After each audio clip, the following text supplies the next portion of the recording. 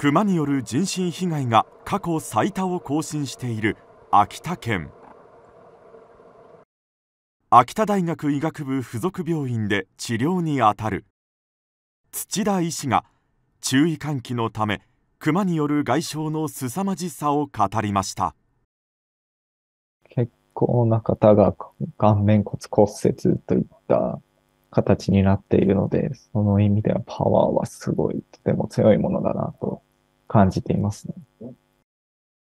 これはクマに襲われた重症患者の CT 画像です顔面の骨が砕けているのがわかります顔面から頭部の外傷が9割ほど占めているので、やはり狙って、明らかに狙っているなっていうのは感じます。熊の鋭い爪で引っかかれた衝撃は交通事故に匹敵すると警鐘を鳴らします。車同士の交通事故といった方で顔面強打した方といっ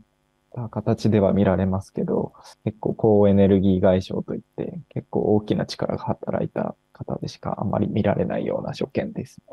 でやはり顔と頭部